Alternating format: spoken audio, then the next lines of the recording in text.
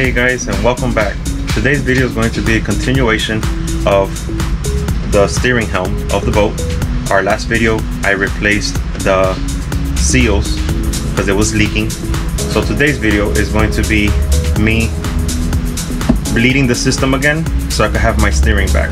As of right now, there's no oil, there's nothing inside, so I have no steering. So that's going to be today's challenge. It's just going to be putting the hydraulic fluid back into the steering pump so I could have steering again on the motor. So guys, to get started, I purchased this hydraulic steering um, bleed kit which comes with the two parts that you'll see on a little video that I'm gonna post here from Amazon.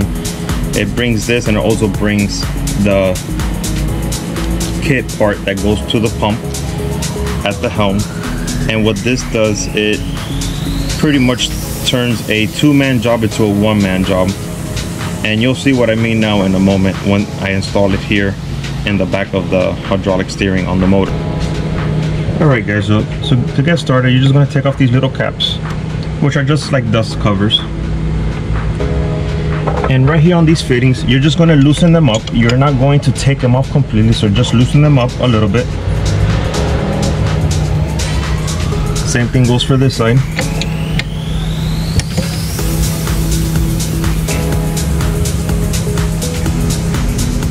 You'll hear the system somewhat get air when as you loosen up the fitting and you'll sometimes see it drip. So now you get these things here. Put them on like so. And that's it. That's as far as we could get back here now. Now we're gonna go back up to the helm of the boat. So now here at the helm, we're going to be installing the second part of the kit which is going to attach to your pump and then this part is going to be attaching to your hydraulic fluid bottle.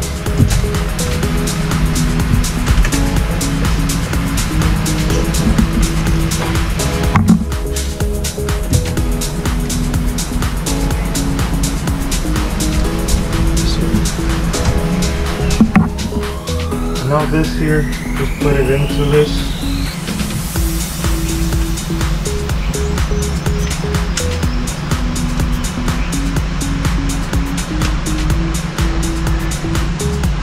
You don't have to tighten it down, just tighten it down finger tight. Doesn't have to be nothing crazy. Now with this part here, you're gonna take the bottle of the steering fluid. I sometimes just give it like a little bit of a squeeze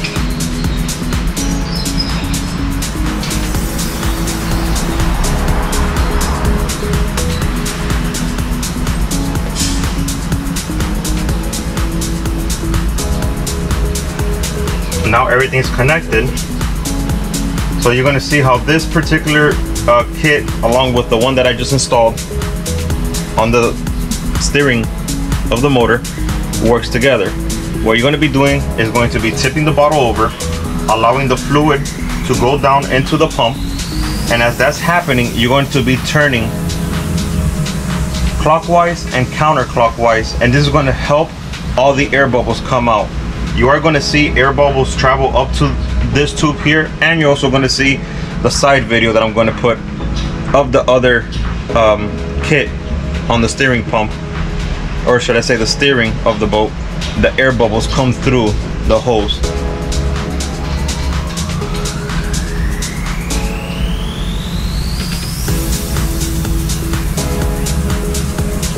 Just want to squeeze out as much oil as you can into the pump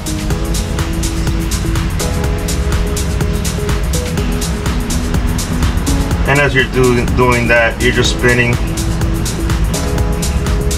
the steering wheel working that oil to go through your lines to go to your hydraulic steering in the back of the boat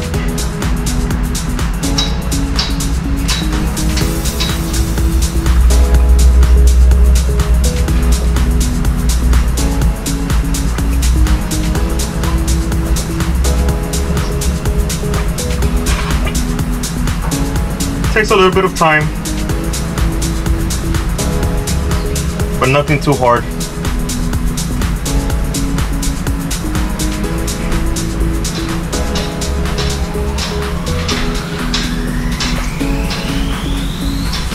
Just gonna be going back and forth, back and forth, bending your steering wheel.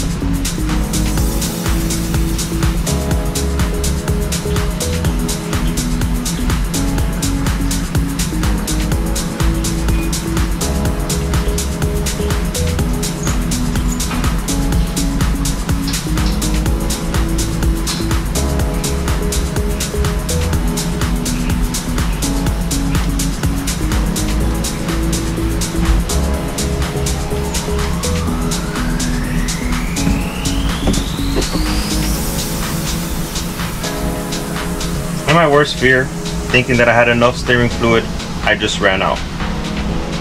Gonna take a quick trip to the store and go get another bottle. Well guys, I'm back.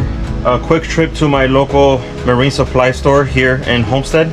I went to South Marine Supply. They had the fluid I needed in stock. So we're gonna go ahead and continue with this video today.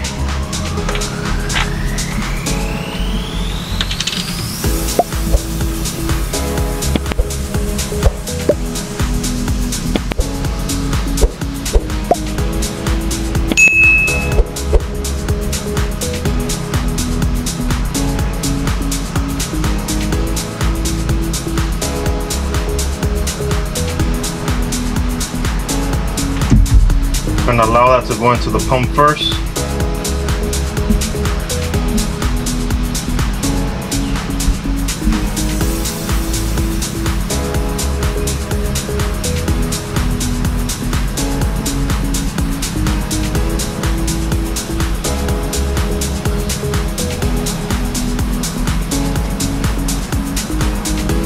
And again, a couple turns clockwise then you just want to change the direction of it turn it counterclockwise allowing all those air bubbles to come out. Again it's not a hard job it just takes its time just have patience with it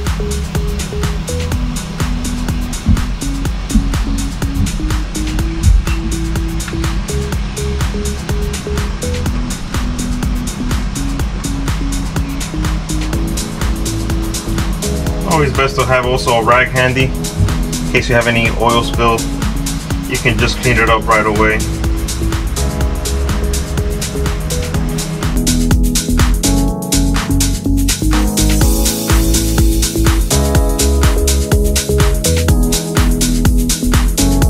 Gonna get to a point where you're not going to see any more air bubbles. Once you get to that point where there's no more air bubbles you already know the job is already done you just have all nothing but fluid inside the pump no air bubbles. It's always good to give it an extra couple of turns back and forth making sure your chances of having air bubbles in there are eliminated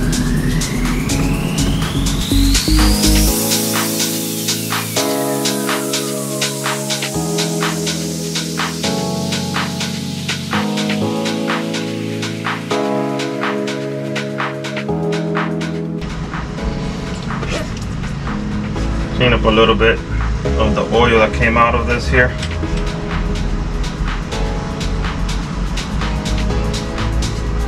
You can leave that there, allow any excess oil there to come out.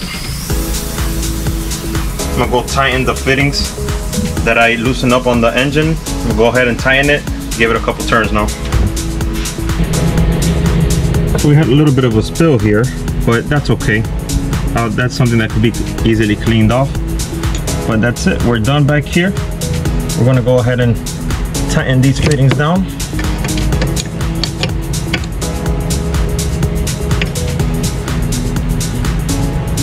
Take these off as well.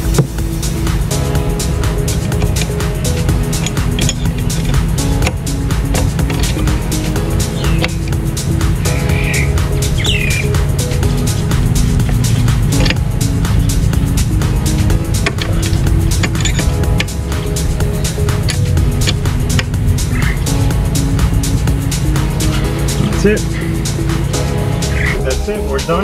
We're gonna go ahead and disconnect the bottle from here.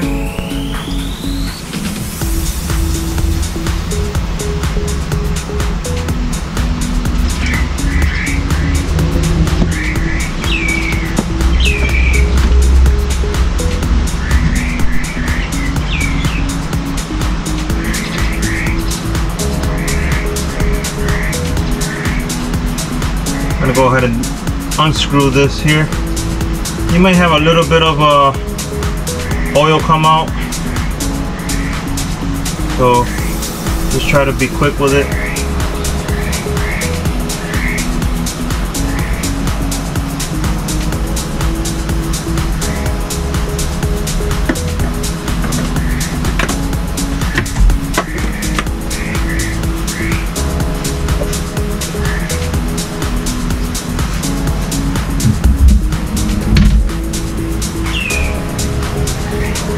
Here.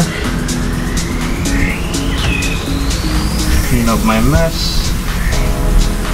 Go ahead and reinstall your cap for the pump.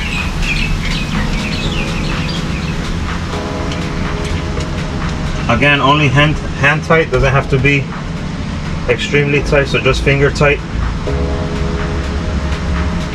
Don't use any tools. As you can see, we got steering back